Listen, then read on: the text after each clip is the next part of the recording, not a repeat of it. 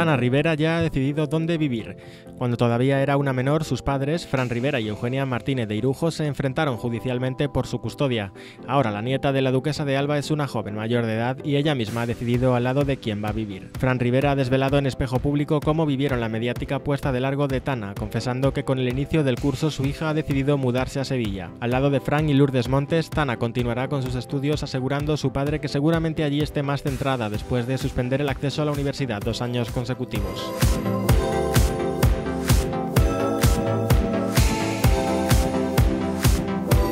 En cuanto a la batalla pública que protagonizó al lado de Eugenia, el torero ha explicado que no tenía nada en contra de ella ni pensaba que fuera mala madre, solamente demandaba pasar más tiempo al lado de su hija. Además, ahora reconoce que es mayor de edad y que se trata de una decisión de ella. Padre e hija siempre han estado muy unidos y Tana siente auténtica devoción por su hermana pequeña, Carmen, y está deseando recibir al nuevo hijo que esperan Frank y Lourdes, siendo este también uno de los motivos que la han llevado a la ciudad hispalense. Por su parte, su madre visita mucho Sevilla y la joven continuará viniendo a Madrid, por lo que la distancia entre ambas apenas será notable.